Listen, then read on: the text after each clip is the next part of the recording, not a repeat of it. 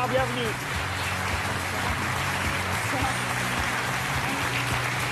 On fait déjà du bonjour, on recommence.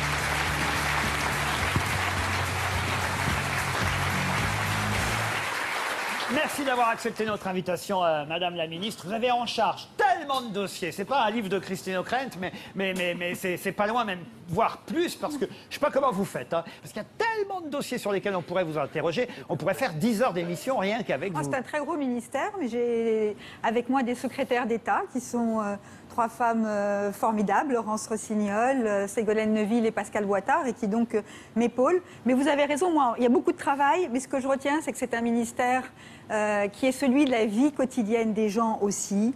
Euh, c'est euh, le ministère des droits, c'est le ministère pour une femme de gauche.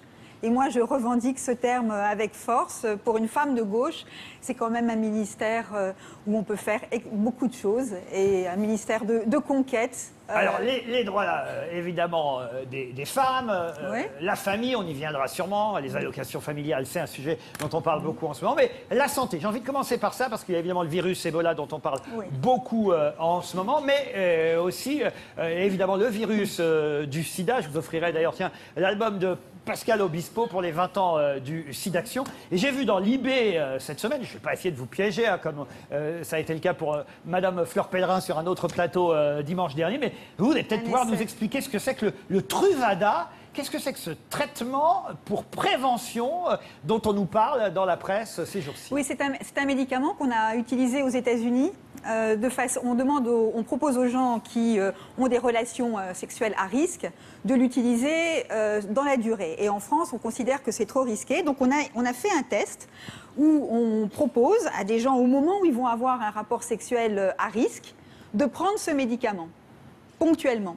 Et ça donne, l'essai donne des résultats euh, tout à fait satisfaisants et encourageants. Donc on va voir si on peut aller vers euh, la commercialisation de ce médicament. Pour le moment, on en est à la Au recherche. on en est tests. au test et à la recherche. C'est un médicament qui s'appelle euh, Hypergay. Euh, et enfin, c'est un essai qui s'appelle Hypergay. Et c'est vrai que ça ouvre Pourquoi des perspectives. Oui, pourquoi C'était le nom, c'est le nom qui a été donné. Oui, on Pas peut très s'interroger. Bah, on peut Voilà, c'est s'interroger les chercheurs, c'est les. euh, bah, Parce que c'est quand même lancer. limité pour le coup euh, le risque du sida à la communauté euh, homosexuelle, alors que le risque existe aussi. Non, il n'est- il mais pas attendez, allons jusqu'au bout. Le partenaire à risque, c'est aussi, ça peut être le mari ou la femme euh, dans un couple Ah, hétérosexuel qui a des aventures à droite à gauche. À condition qu'ils le sachent. Oui, bien sûr. Oui, parce que le. Mais il y a des couples qui- toute la- qui- Non, mais toute la logique de ce, de ce médicament et de ce test, c'est de le proposer à des gens qui assument, je dis bien des gens, ça peut être des hommes, des femmes, c'est principalement des hommes, mais qui assument complètement le fait d'avoir des relations sexuelles à risque. Par exemple, des hommes qui ont des relations sexuelles avec d'autres hommes sans se protéger. Or, en même temps, on n'arrête pas de passer des messages de protection et de Ça sécurité. Pascal Obispo. Je trouve ça hallucinant, hein.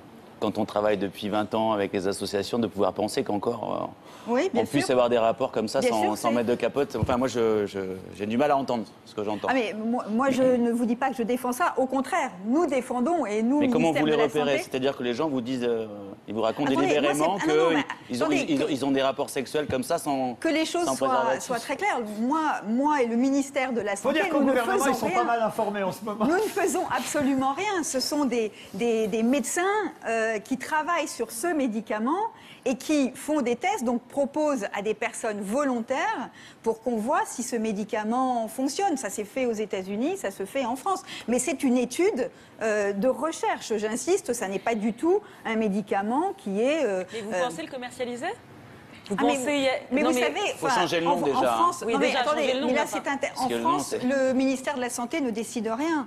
Je voudrais euh, ou vous rassurer ou vous dire Non, comment ça marche. pas. Il y a une agence totalement indépendante Oui, qui fait passer des, des essais et Je qui sais. ensuite Mais est-ce qu'on est en train d'aller le vers ça? Est-ce qu'on est en train d'aller vers une commercialisation? En tout cas, les spécialistes du sida, et je pense par exemple au professeur Delfrécy, qui est une des grandes personnalités avec la prix Nobel, Madame Françoise Barré-Sinoussi, qui euh, travaille travaille sur l'Agence nationale euh, de la recherche euh, scientifique médicale, et il dit c'est une avancée euh, extrêmement importante et ça ouvre un espoir qui est euh, un espoir comme on n'avait pas vu depuis des années. Je Donc pense que moi, je- j'entends hein, cela. le seul moyen de ne pas attraper le sida pour l'instant, c'est de mettre se un préservatif. c'est ça, ça- c'est ça Pardon, le risque. Parce que mais- si on dit qu'il y a un médicament qu'on peut prendre avant un rapport sexuel sans se protéger et qu'il y a des, des bons effets, il faut faire attention à ce qu'on vente, dit. de toute Mais façon. Non, non, mais ce que je vais- pas- mais je, je partage assez ça, c'est-à-dire que vous avez un, matraquez le message de protégez-vous, et là vous nous dites qu'en prenant un, un médicament Moi, avant je ne vous dis rien.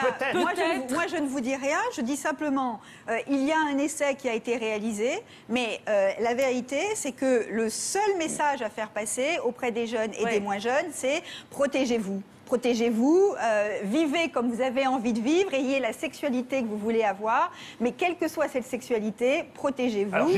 Et on va pouvoir le répéter dans les semaines qui viennent, puisqu'il y aura bientôt euh, la journée, oui, le SIDAction et la journée de lutte contre le sida. Rappelons euh, d'ailleurs hein, les chiffres, hein, 6 000 personnes sont à nouveau contaminées chaque année en France. Oui. 6 000 chaque année en Et France. 30 000 Et- personnes vivent avec le sida sans le savoir. Voilà. Et, donc sont susceptibles de et pour contredire le nom, parce que c'est quand même important de le rappeler, pour contredire le, nom euh, du, médicament ou des tests que vous avez donnés, sur ces 6 000 nouvelles contaminations chaque année en France, 42% d'entre elles, certes, touchent des hommes ayant des relations sexuelles avec des hommes, mais si on vous donne 42%, ça veut dire qu'il y en a 58% où il s'agit de relations hétérosexuelles, donc ça concerne tout le monde. Voilà, il faut quand même euh, rappeler ça. 42% hommes avec hommes et 58% hommes avec femmes ce sont les chiffres qui ont été donnés euh, cette semaine. Voilà pour euh, le sida, mais c'est important d'en parler puisque Pascal Obispo euh, était là et qu'il euh, travaille avec Lynn Renault beaucoup en faveur de la lutte contre cette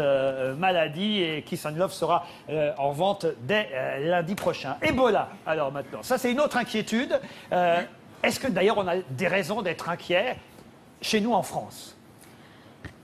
Je suis très vigilante et je crois que nous devons en France être très vigilants, mais surtout ne pas céder euh, à la panique. Vous avez dit en France, et c'est ça la chose euh, importante, parce qu'en Afrique de l'Ouest, il y a une épidémie comme on n'a jamais connue, euh, et qui d'ailleurs oblige à ce qu'on s'engage fortement, et la France le fait. On envoie des médecins, des infirmières, euh, et on va en envoyer euh, de plus en plus, parce que pour se protéger en France, il faut essayer d'arrêter l'épidémie dans les pays qui sont concernés euh, en Afrique. Nous, Mais c'est en, France, Guinée essentiellement. c'est en Guinée hein. que, que la France euh, s'engage, mais il y a une épidémie au Sierra Leone, au Libéria, et les puis on voit et les que, Anglais qui s'en occupent.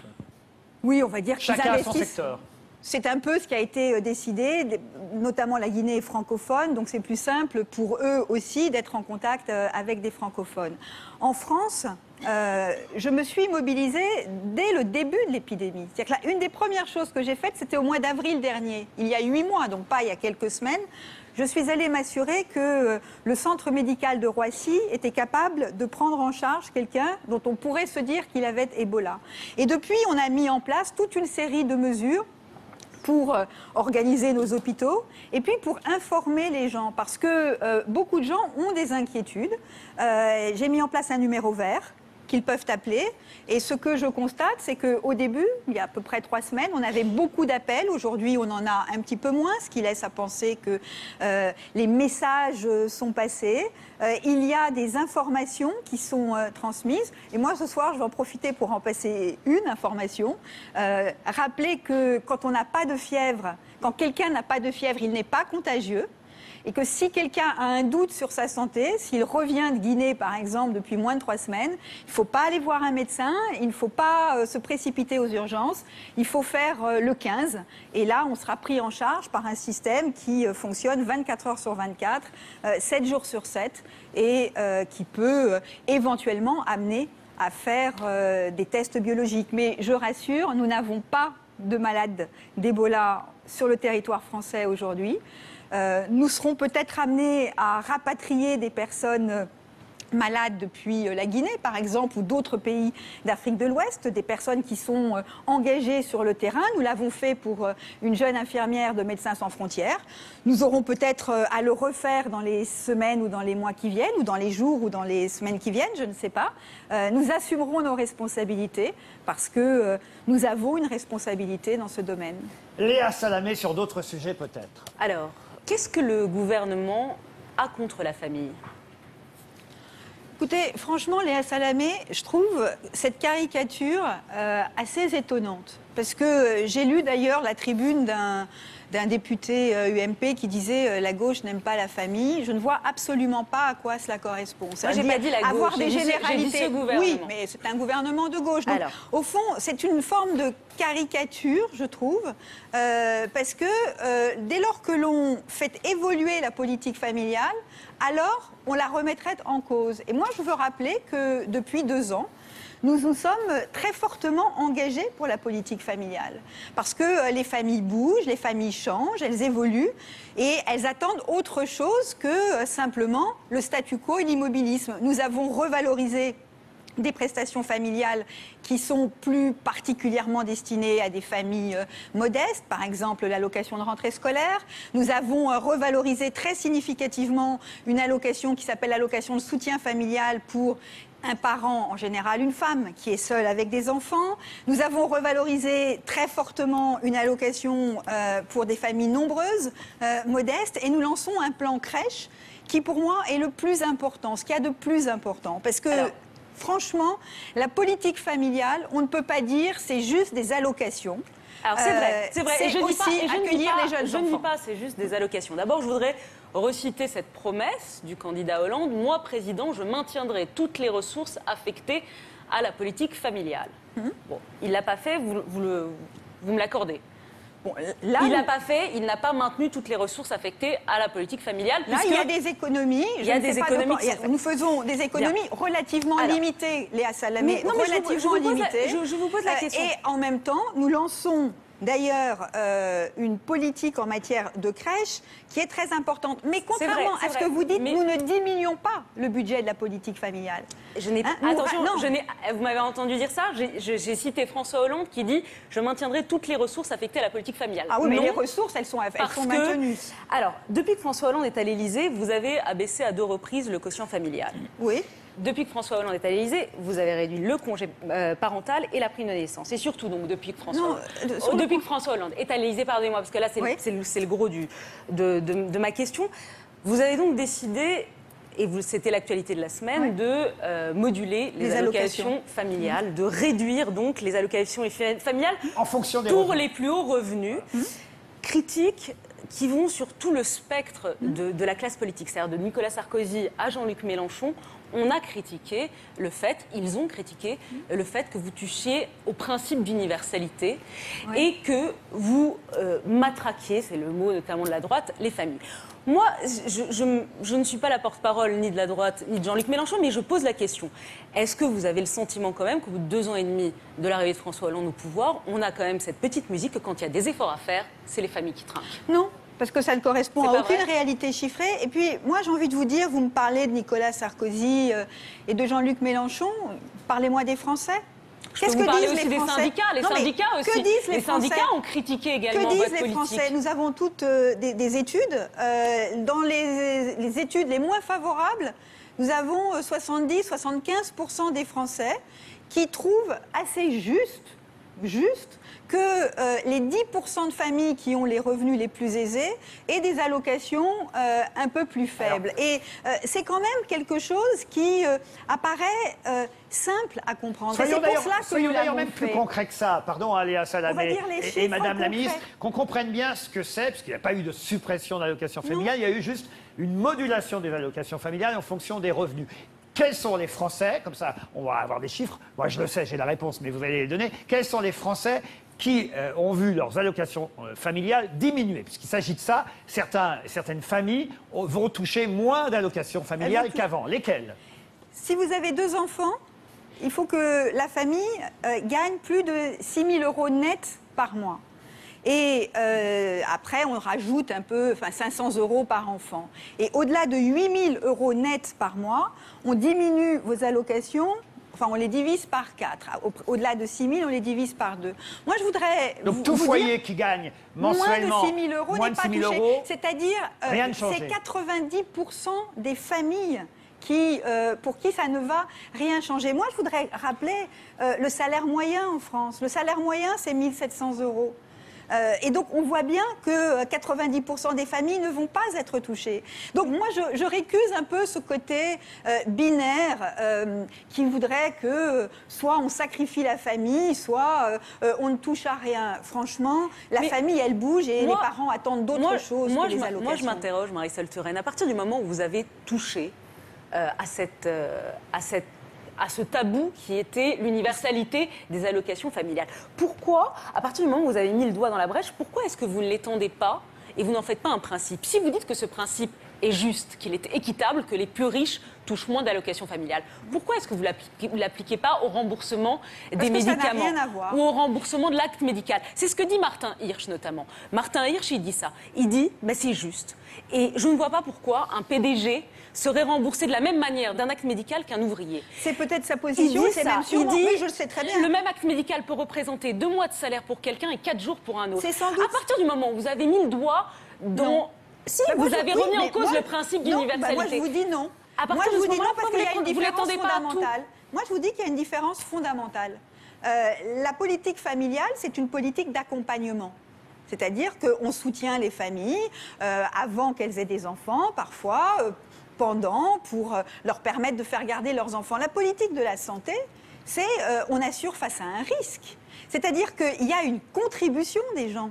Vous cotisez, vous ne cotisez pas pour votre politique familiale. Là, vous cotisez pour la santé. Et personne, moi je le dis, personne ne peut assumer euh, des risques comme euh, une maladie euh, grave euh, ou même parfois ou plusieurs maladies moins graves. Donc pour moi, ce principe-là, il est absolument euh, intangible. Et ce que je fais depuis deux ans va exactement à équitable?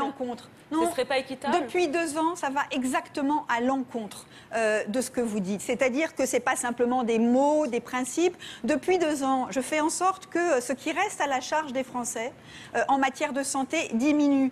Et euh, ça diminue. Euh, alors qu'au cours du mandat précédent, ça avait augmenté. Les dépassements d'honoraires, qui sont la chose la plus injuste qui soit, puisque pour le coup, euh, euh, vous devez avancer de votre poche une partie de la consultation. Les dépassements d'honoraires ont reculé, ont diminué, qu'il s'agisse de l'hôpital ou qu'il s'agisse de la médecine de ville. Donc moi, j'ai engagé des réformes qui, justement, viennent consolider ce caractère, comment dire, euh, euh, solidaire, solidaire, qui est pour moi absolument fondamental. La santé, c'est au cœur du pacte social. Et ce que je fais depuis deux ans, c'est de consolider ce pacte social, ce qui ne veut pas dire ne toucher à rien.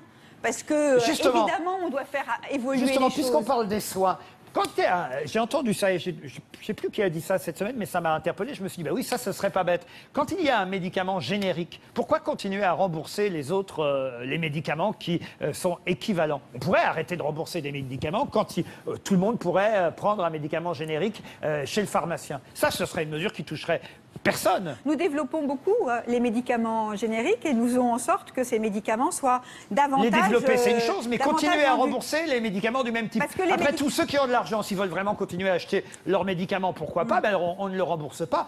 Et on ne rembourse uniquement que le médicament générique. Oui, en fait, on peut aussi considérer que pour certains patients, euh, Bah oui, le médicament de, faut- de faut base bien faire des économies quelque part, Mais on en fait, on en fait Non, enfin, beaucoup. ça, c'est un exemple très concret qui, me paraît pas, enfin, qui me paraît recevable. L'année prochaine, euh, plus d'un milliard euh, d'économies sur euh, le médicament.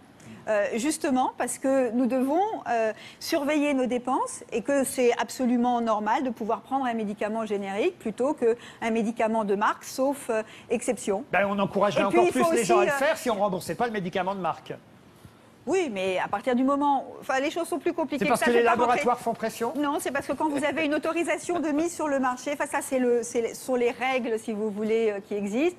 Quand vous avez reçu une autorisation de mise sur le marché, On peut pas revenir euh, dessus. Si on peut revenir dessus, mais si le générique fait la même chose, euh, il n'y a pas de raison de rembourser l'un et pas l'autre. On peut en revanche euh, flécher euh, les prescriptions. euh, et à partir du- de l'année prochaine, il faudra que les médecins prescrivent euh, les génériques plutôt que les médicaments de marque. Émeric Caro, et je reviens vers Léa Salamé après. Pour continuer euh, euh, sur la santé, euh, dans le projet euh, de budget de la sécurité sociale, il y a un amendement de Michel Delaunay sur euh, le tabac Oui. qui a été rejeté. Un, un amendement qui prévoyait de fixer le, le prix des paquets de cigarettes sur le coût, le coût sanitaire pour la société. Euh, ça aurait doublé à peu près euh, le, le- le prix du paquet. Euh, c'est pas un sujet anodin du tout. Sauf qu'on n'en parle pas justement. C'est pour ça que je voulais en parler avec vous ce soir. Parce que le tabac, l'alcool aussi, ça a un coût considérable pour la société. Coût humain, coût dramatique. Le tabac, c'est 70 000 morts euh, par an. 73 000. 73 000, à peu près, oui. merci d'être encore plus Voilà. précise, c'est- j'aime ça. Et, euh, Voilà. Et, et l'alcool, euh, je crois Il y qu'on en a a... peut-être 3000 qui ont arrêté de fumer au moment où on se parle. hein. C'est possible, c'est possible. Mais il y en a surtout 10 qui sont morts depuis le début de cette émission. C'est vrai. Voilà. Et- 10 qui sont morts. Parce que là, là où vous avez euh, raison, c'est qu'au fond, le tabac tue. Et il tue euh, sans qu'on en fasse euh, une affaire euh, Absolument. spectaculaire. Moi, ce que je donne comme, euh, comme image, imaginez que tous les matins, vous vous réveillez, vous mettez la radio ou vous mettez la télé, et vous apprenez qu'un avion avec 200 personnes à bord s'est écrasé. Eh bien, c'est très exactement ce qui se passe. Tous les, jours, tous, les, tous les jours, 200 personnes meurent du tabac en France, Absolument. et on fait comme si on s'y était habitué. Euh, Alors- sauf que j'ai lancé un plan pour lutter contre le tabac. Bah justement, euh, on n'en voit pas forcément les, les effets. On pourrait Bon, également... non, j'ai lancé il y a un mois. Voilà, Donc, voilà pourquoi euh, on n'en avant voit pas les effets alors. Moi, je veux bien que. Euh, n'empêche que cet amendement ne pas- passe pas, parce qu'il faut quand même rappeler, je trouve que quand même, voilà, l'alcool, euh, c'est euh, 50 000 morts par an aussi, donc voilà, on pourrait ouais. aussi parler, parler de l'alcool, Ouais. mais c'est surtout le coût, enfin c'est pas surtout, c'est aussi le coût pour la société, 47 euh, milliards. Oui, il y a euh, une crois. étude qui a quelques années qu'on est en train de refaire et qui évalue le coût social hein, euh, général du tabac à peu près des à morts, cela. des, des- morts et des maladies du tabac. Mais pas donc- simplement les maladies, c'est aussi, bah, il compte tout. Par exemple, celui qui jette son mégot de cigarette euh, Voilà. en allant se promener, il y a un feu de forêt et donc il faut envoyer les pompiers, tout ça coûte de l'argent. Mais en Mais gros, trois fois 18 le- milliards pour la sécurité sociale. Ça, je vais la savourer la prochaine, moi. Alors, euh, Oui, oui. c'est- ces 47 milliards, c'est à peu près trois fois le déficit de la Sécu. Donc, il faudrait peut-être s'attaquer euh, à ce problème de manière plus, euh, plus sérieuse. Pourquoi? Alors, vous avez lancé un plan il y a un mois, mais euh, pourquoi on a le sentiment que c'est un sujet qui n'intéresse pas vraiment les politiques, pas plus ce, ce gouvernement-là que les autres? Écoutez, là, vous tombez à côté parce que. Ben non, mais dites-moi, alors vous allez faire quoi concrètement alors Ben, Parce que ce, ce plan, euh, il a reçu euh, le, comment dire, le soutien de l'ensemble des associations de lutte contre le tabac qui ont toutes dit de façon unanime qu'il n'y avait pas eu de plan de cette ampleur-là et de ce volontarisme-là depuis des années et des années. Et ce plan, euh, il porte d'ailleurs des mesures qui ne font pas plaisir à tout le monde. Et j'ai mis deux Ça- ans à le travailler. J'ai mis deux ans aussi à convaincre que c'était euh, nécessaire. Concrètement, je ne vais pas vous dire toutes les mesures, mais il y a des mesures assez fortes. Il y a une mesure dont on a beaucoup parlé qui euh, est la mise en place du paquet neutre. Oui, oui. Ça va prendre un peu de temps, mais n'empêche que c'est une mesure extrêmement importante qui a été mise en œuvre en Australie que les Anglais sont en train euh, de préparer, les Irlandais, et c'est un changement complet parce qu'on sait très bien que l'industrie du tabac joue sur euh, le packaging, euh, l'attrait des paquets de cigarettes pour vendre des cigarettes. Ouais, Donc ça, sûr. c'est une mesure Ouais. tout à fait efficace, importante. bon. Pourquoi ce ne sera pas efficace? Parce que ça Parce va pas que arrêter. ça va un, pas un arrêter. fumeur, il, il taxe même quelqu'un dans, Bah oui. dans la rue avec n'importe quelle clope en se foutant totalement dans quel paquet elle est. hein. Bah, Écoutez, en Australie, on a vu un effet. Euh, et la principale cible, ce sont les jeunes. C'est-à-dire que celui qui fume depuis euh, déjà des années, qui euh, est complètement accro au tabac, euh, il faut avoir d'autres actions. C'est-à-dire, si vous ne pouvez pas vous passer le cigarette, paquet neutre ou pas paquet neutre, Voilà. vous allez acheter vos cigarettes. Là, on est d'accord. Mais si vous n'avez pas fumé ou vous commencez, on sait qu'en France, on commence jeune, 12, 13 ans, euh, pour des raisons qui sont euh, euh, les copains, être dans un clan, etc., un, un groupe de- de- d'amis. Euh, il faut essayer, oui, se faire accepter. Le, le paquet neutre, ça provoque euh, des réactions. En Australie, qu'est-ce qu'on a Bah vu non, on ira dans Que, un de euh, paquet neutre. Un club paquet neutre Oui, mais non, mais enfin, je veux dire. je- je- oui, mais écoutez, euh, si ce que vous voulez dire, c'est que Non, le mais- paquet neutre tout seul ne Non, règle mais pas le problème. Une mesure forte, c'est ce que évidemment. proposait Michel Delaunay. Ça, c'était fort. On double le prix du paquet de cigarettes. Déjà là, vraiment, il y a, il y a un effet. euh, Vous voulez voir tout le monde dans Vous la rue savez, vous, hein vous non, euh, écoutez, euh, il y a l'interdiction de fumer dans les voitures ou dans les parcs euh, où il y a ouais. des enfants. Oh là là, on va aller loin avec ça. Non, ah mais- oui Non, mais. Ah, parce que vous êtes pour qu'on fume dans les voitures Si c'est Moi, une décapotable. Je fume pas, vous Ah, savez, donc. euh, Non, non, mais pas vous. Mais là, les- que, les- que des gens fument dans non, les ça, voitures. c'est- très anecdotique, pardonnez-moi, hein, mais je pense pas que ça compliqué, va c'est changer le téléphone portable dans une main et la cigarette dans l'autre. Ça, Alors, faut reconnaître que c'est. Parce que là, ils sont mal partis. Et on a une incohérence qui n'est pas que française, mais qui en France, en tout cas, est très marquée. Ça concerne justement euh, la manière dont on traite euh, le tabac et l'alcool, je les mets dans la même catégorie, et le cannabis.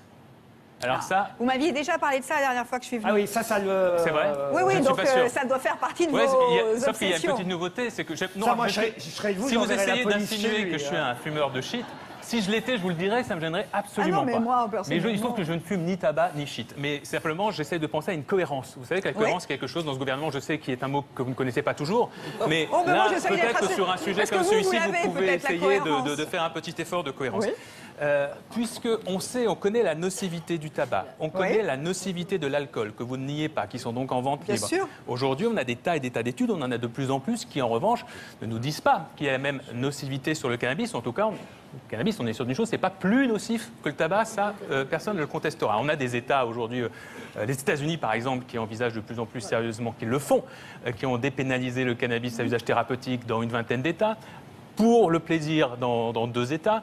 Bref. Et nous, on est encore super bloqués. Mon objectif, et c'est ce que j'ai dit en lançant le plan tabac, c'est qu'en une génération, on fasse euh, quasiment disparaître le tabac. Donc c'est pas pour dire, écoutez, euh, c'est la fin du tabac. Moi, mon objectif, c'est que les bébés qui naissent aujourd'hui soient la première génération de non-fumeurs. C'est pas pour dire à côté, mais euh, allez-y, prenez du cannabis et euh, je lâche les voiles là-dessus. Pour moi, c'est une question de cohérence, c'est-à-dire que euh, je ne vois pas comment je peux porter des messages de santé publique euh, forts et fermes sur le tabac, sur l'alcool, tout en disant euh, il y a des risques qui sont liés au cannabis, mais au fond, euh, c'est peut-être moins grave, donc euh, allons-y. Ma euh, cohérence, ma cohérence, c'est plutôt de dire euh, faisons reculer euh, l'ensemble des addictions. Léa Salamé, autre sujet. Qu'est-ce que la ministre de la Santé pense de la proposition de Facebook et d'Apple euh, aux États-Unis d'offrir à leurs salariés femmes de payer pour qu'elles puissent congeler leurs ovocytes et poursuivre leur carrière? Est-ce que c'est une bonne chose ou ça vous choque? Savez, je ne suis pas sûre que ce soit la ministre de la Santé qui, qui a envie de vous répondre sur ce- cette question-là. C'est presque autant la femme Oui. euh, la ministre des droits des femmes, mais la femme, parce que ça me trouble énormément. Euh, que ce soit des entreprises qui proposent à leurs salariés, au fond, on ne sait pas très bien pourquoi, peut-être pour qu'elles soient euh, plus euh, compétitives, plus travailleuses euh, à un âge où on a envie de faire des enfants, de prévoir la suite et de congeler leurs ovocytes alors qu'on ne sait absolument pas si ça va marcher. Et que c'est une façon, je trouve, assez...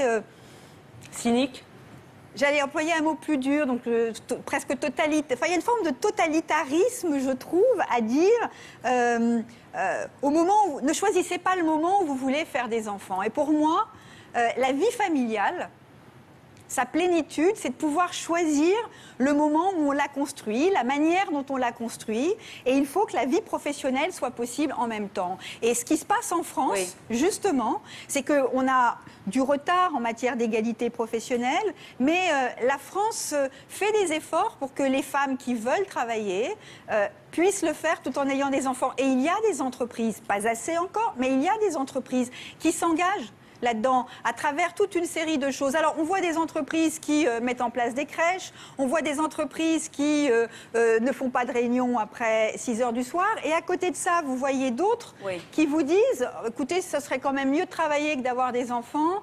Euh, On va congeler vos ovocytes. Congeler vos ovocytes, et puis euh, on espère pour vous que ça va On a marcher bien dans compris. 10 Vous ans. êtes contre les congelés payés par l'entreprise. Mais Léa, au-delà, pardonnez-moi, au-delà du cynisme de l'entreprise, de ces entreprises américaines et, de ce libéralisme à outrance appliqué au corps des femmes et à la procréation, sur le fond, il y a une vraie question qui se pose pour les femmes et qui sont trentenaires, soit qu'elles veulent faire carrière, et ça se passe souvent dans, dans- dans cette, dans cette décennie-là. Et malheureusement, l'injustice est ainsi faite que, en gros, il vaut Oui, mieux faire des oui. enfants avant 40 ans et voilà, Oui, 42 ans. Et elle se trouve devant un choix qui est juste, qui est de plus en plus répandu à mesure que, voilà, à un moment, ça n'aide pas forcément à monter dans la hiérarchie que d'être enceinte à 35 ou à 38 ans. Il y a aussi des femmes qui euh, découvrent qu'elles ont des problèmes de fertilité assez jeunes, à 33-35 ans. Ma question, elle est au-delà maintenant. On, on oublie Oui. Facebook et Google. Pourquoi est-ce que vous n'autorisez pas, euh, en France, de congeler les ovocytes? Parce que, enfin, la- la- que la réflexion s'engage, moi, je, je l'entends. J'ai d'ailleurs eu des discussions sur cette question-là avec des médecins, avec des même Le des- professeur Oliven, notamment, qui Avec est très connu, euh, il dit oui. Je ne demande pas un remboursements Non, de non, cette mais affaire, mais je demande. Mais oui, j'en- ai parlé avec le, professeur Friedman. Donc, ce sont des discussions qu'on peut avoir. Euh, ça mérite qu'on ait une réflexion sur la façon dont euh, on conçoit la fertilité ou le rapport des femmes à leur fertilité ou des couples à la fertilité. Euh, moi, je suis prête à ce qu'on ait un débat, mais je ne suis pas prête à jouer à l'apprenti sorcière. Et je trouve que ce sont des sujets sur les, enfin, pour lesquels il faut avancer avec précaution. Donc oui au débat, mais euh, attention à ce qu'on ait bien des, des garde-fous éthiques, parce que ce sont des sujets éthiques. Vous aurez droit encore à une question euh, chacun, mais je vais faire un petit tour de table. Christine O'Krent a sûrement une question ou une réflexion à faire sur ce qu'elle vient d'entendre de la part ou de mes camarades ou de Madame euh, la Ministre. Quelque chose vous a Je crois que c'est toute la question de la liberté du choix de la femme. Et, et notre génération a bénéficié de ça. Ce n'était pas le cas de nos mères et, et grand-mères, bien évidemment. Euh, je ne reviens pas sur cette histoire de, de Google, etc., la Silicon Valley qui affreux, quand complètement marteau. Mais on sait aussi qu'il y a des pays d'Europe, nos voisins, qui autorisent ce genre de pratique. Et donc, il y a un moment où il y a quand même une mise en conformité pour éviter un espèce de tourisme euh, d'exportation, enfin c'est affreux l'expression, Ouais, ouais. pardonnez-moi, mais d'exportation des ovocytes, et où en gros on va euh, les congeler euh, en passant En les Espagne. frontières. Et c'est très troublant en Europe aujourd'hui, et c'est vrai non seulement pour euh, le problème de la congélation, mais pour, Pour la procréation médicalement assistée, etc. C'est de voir à quel point, euh, d'un pays au sein de l'Union européenne à l'autre, les pratiques divergent, et la France a cette, cette particularité forte d'être extraordinairement conservatrice. Alors on peut dire, c'est formidable, les valeurs, la famille, etc. Mais il y a un moment, je crois, où pour des générations plus jeunes, euh, avec l'évolution des modes de vie, euh, l'évolution euh, des modèles familiaux, on voit de plus en plus de gens qui vont chercher ailleurs des solutions qu'ils ne trouvent pas chez nous. Je suis très fermement opposée euh, à tout ce qui ressemble, à tout ce qui est de la marchandisation du corps. Bien sûr. Euh, je considère que au nom de ce que ça se fait euh, dans d'autres pays, non mais le fait que ça se fasse, oui mais vous pouvez, je peux, certains me disent la même chose que vous, me disent ça se fait en Angleterre, ça se fait ailleurs en Europe. Pourquoi est-ce qu'on n'autoriserait pas la gestation pour autrui en France alors qu'il suffit d'aller à Londres ou en Inde ou aux États-Unis pour pouvoir le faire Et au fond, si on a ce type de réflexion, alors ça veut dire qu'on s'aligne sur euh, une forme de libéralisme mondial sans affirmer nos valeurs. Et moi, je crois beaucoup qu'on doit euh, réfléchir, faire évoluer les choses, bien sûr, mais se dire euh, à quoi est-ce que euh, je crois vraiment. Et moi, je crois que le corps n'est pas une marchandise. Patrick Sabatier, je change de sujet. Vous avez été un gros fumeur, vous? Oui, j'ai été fumeur et alors, je veux dire que quand vous me disiez là 200 personnes par jour, un avion qui s'écrase tous les matins, et c'est vrai que c'est ahurissant. Je ne fume plus déjà depuis euh, quelques années, je m'en porte beaucoup mieux. Combien vous fumiez de cigarettes Bon, par un jour paquet de cigarettes par jour. Un paquet par jour. Euh, mais c'est- beaucoup, oui, c'est beaucoup, puis euh, pe- pendant longtemps. Je, je- je- je rejoins ce que dit Émeric. Je ne sais pas ce qu'il faudrait faire pour vraiment être très coercitif par rapport à la cigarette, parce que c'est vraiment un mal énorme euh, que ça fait à notre santé. Donc tout ce que vous ferez sera le- le- la, la chose la, la- la bienvenue.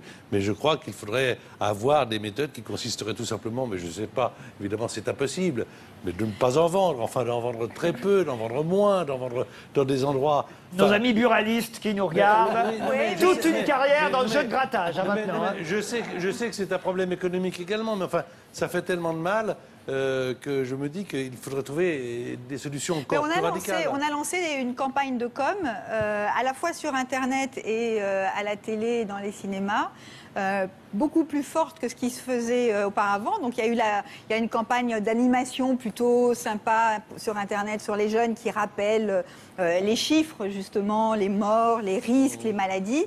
Et puis il y a ce film euh, qui a provoqué des réactions assez Qui est partagées. terrible. Qui est terrible. Et moi, voilà. c'est la première Ouais. fois qu'un- qu'une campagne de pub fon- fonctionne sur moi. C'est-à-dire Voilà. que je suis restée euh, sur cette mère Cette qui parle à ses ouais, enfants. qu'on ne voit pas. Qu'on ne voit pas. Où on est en train de ranger le lit d'hôpital euh, où elle est morte. Et elle parle à ses enfants en lui disant.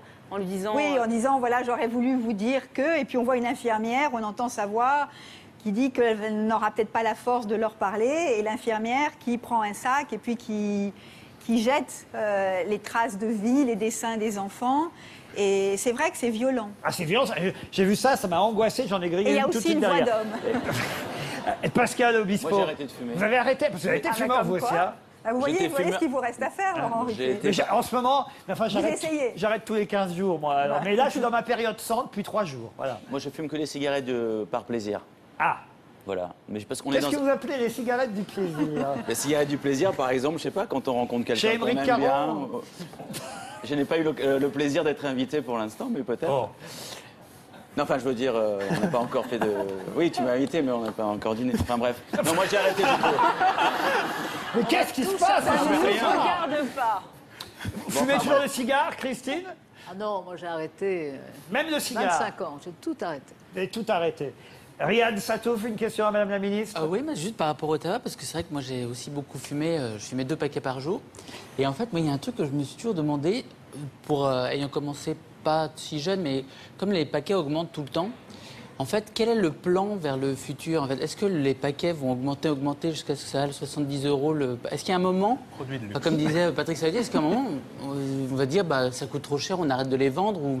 Quel est le principe de l'augmentation enfin, Ah bah, li- L'idée, c'est que plus les, plus les paquets sont chers, euh, plus il y a des gens qui arrêtent effectivement de fumer, en particulier chez les jeunes. Ça Euh, ralentit on ça pas vraiment plus d'un coup enfin, Ah oui, il faut augmenter d'un coup, mais là, on a augmenté pas mal au cours euh, des deux années écoulées. Cela dit, euh, le choix qui a été fait, c'est de moins toucher au prix et d'avoir tout un ensemble Et de vous allez mesures avoir des défilés de buralistes, Mais si vous voulez... euh, Des si manifs vous- pour tout Mais si vous voulez que... Allez, une dernière question. Émeric et Léa. Bah, vraiment, courte, réponse courte. hein, vous Oui, connaissez oui. le principe, c'est la dernière. Oui, oui, oui. J'ai juste continué la discussion amorcée la semaine dernière avec Najat Vallaud-Belkacem, et puisque vous êtes dans le même cas qu'elle, ce serait injuste que je ne vous pose pas la question. Vous êtes donc euh, toujours conseillère générale? Je suis conseillère générale et moi, je l'assume... euh, Ah bah Najat aussi l'a assumé. Complètement. Euh, je l'assume complètement. On a voté une loi euh, contre le cumul des mandats qui rentre en application en 2017. Ouais. Lorsque je suis devenue ministre, Ouais. moi j'étais présidente du Conseil Absolument. général. Euh, et j'ai démissionné de la présidence du Conseil général. Tout à fait. Parce que ça, pour le coup, je ne vois pas comment j'aurais pu euh, diriger le département, enfin le Conseil général, et être euh, ministre. Et je suis Alors, redevenue conseillère générale de base, euh, et au fond, je l'assume. C'est aussi un attachement et une forme de fidélité Oui, oui, ça, on aux connaît- ceux qui... Non, oui, mais, oui, non, mais à mes électeurs. Mais moi, je, Mais- je le dis, je... Voilà. Non, parce que j'ai lu, j'ai lu votre discours, euh, celui que vous avez euh, fait lorsque vous avez quitté la présidence du Conseil euh, général pour expliquer. Bah oui. Alors vous dites, hein, c'est pour respecter les principes édictés par ses ministres, par François Hollande, etc., etc. Et vous dites, un ministre doit l'être à plein temps. Cette règle non écrite semble naturelle. Elle n'a pourtant jamais été aussi pleinement appliquée que par le gouvernement dans lequel j'ai eu l'honneur d'être nommé et confirmé. C'est donc un engagement total que je vouerai à ce gouvernement, etc., etc. Je respecte engagement ce principe, total que bien je sûr. ce il y a deux- gouvernement? Pardon? Un engagement total que je... Oui, c'est ce que vous dites. C'est donc un engagement total que je vouerai, que je voue déjà à ce gouvernement, etc., etc. Je respecte bien sûr ce principe parce qu'il est voulu par François Hollande, mais aussi parce qu'il correspond à ma manière de voir les choses, Ouais. à mon éthique personnelle, qui veut que les choses pas doivent être bien faites tout le discours, ou ne c'était pas chiant à l'époque. Alors, Alors, là, il y a un problème dans ce que vous dites, puisque vous dites, je, je- je- je quitte la présidence euh, pour être une ministre à plein temps. Donc, Oui. il y a problème. Soit vous êtes vraiment une ministre à plein temps et vous touchez donc une rémunération de conseillère générale d'à peu près 2500 euros par mois pour ne rien faire, soit pour un emploi Non. fictif, soit vous avez menti, vous n'êtes pas ministre à plein temps. Mais il y a un truc qui colle pas. Non, je, je suis ministre. euh, je ne crois pas que qui que ce soit considère que je n'assume pas mes responsabilités ministérielles, donc je les assume Donc vous êtes ministre à plein temps complètement. Et je vais aussi dans mon Comment on fait pour département. avoir plus de temps que plein temps? Vous dormez de temps en temps. euh, Est-ce que vous vous dormez? Est-ce que ministre à, à plein temps, c'est euh, Moi, je suis un être humain, donc je dors toutes les Euh, nuits, moi, je euh, dors, comme à peu près peut-être, tous les euh, êtres humains. Peut-être un peu moins euh, que d'autres, parce qu'on a effectivement beaucoup de travail. Euh, et je fais mon il y a travail. le Conseil euh, des ministres pour ça, pour dormir un peu. euh, bah, ça dépend qui. Non, mais mais en tout cas, moi, je ne dors pas pendant le Vous le Conseil des rappeliez ministres. tout à l'heure, le, le- le salaire moyen des Français, c'est vous qui l'avez dit, est de 1700 euros. Oui, 1700, oui. C'est ce que vous. Vous trouvez normal d'avoir un supplément de salaire de 2500 euros pour un job qui vous prend quoi? Quelques heures par mois? Ah non, pas quelques heures par mois. Bah je si, suis dans mon plein temps, un petit peu Laissez, plus. laissez répondre. Non, écoutez, franchement, euh, non, mais je vous dis, moi, je- je- j'assume et, et je, je l'assume auprès de mes électeurs. D'ailleurs, je vous invite volontiers à venir euh, dans mon département, rencontrer mes Le électeurs. nombre de voyages les qu'on pourrait habitants. faire grâce aux politiques depuis cela dit, c'est peut-être pas, c'est peut-être pas On très aurait lointain visité la banlieue très- 500 Mais je fois. aller, je bien Oui, aller chez non, mais vous. La Touraine, c'est la première fois. Non, mais combien- mais- alors, je vais poser une question Non, très concrète, dire- comme j'ai fait un agenda de la WKSM. Combien de temps par mois consacrez-vous, dans ce cas-là, à votre mandat de conseillère général? Soyons concrets. Écoutez, moi je suis dans mon département tous les week-ends, il m'arrive même d'y aller euh, en semaine, et c'est même utile de rencontrer des gens qui euh, sont de votre canton ou de votre département, d'ailleurs au-delà du canton, et qui vous permettent Pourquoi vous avez besoin de ça? D'ajuster Je des comprends mesures. d'autant moins que par ailleurs, vous avez été élu député. Vous avez été élu député, oui. Oui, j'ai bah oui. Et vous avez laissé votre mandat. C'est-à-dire que si... Mais attendez, je suis pas députée là, puisque je suis ministre. On est d'accord. Mais si jamais, par malheur, vous ne deviez plus être ministre, ce qui peut arriver, vous récupéreriez automatiquement votre poste de député. Oui. Donc ça sert à quoi de cumuler les mandats Mais comme c'est pas, là, ça, c'est sert pas interdit. hein. Là, il faut, je veux dire, personne n'a jamais dit qu'on pouvait pas être euh, député et conseiller général. Je oui, mais là, jamais vous, dit que c'était vous- légal. Ma seule question, c'est vous défendez le mandat cumuler unique? ainsi les mandats? Vous défendez- Pourquoi cumuler ainsi les mandats? Vous défendez le mandat unique, vous avez parfaitement le droit. Nous, nous ne défendons pas Allez. le mandat unique. Nous disons, on peut avoir un mandat de député et puis euh, être conseiller municipal, conseiller général, euh, conseiller. euh, Regardez, moi je cumule les mandats et, et ça me coûte, hein, croyez-moi parfois.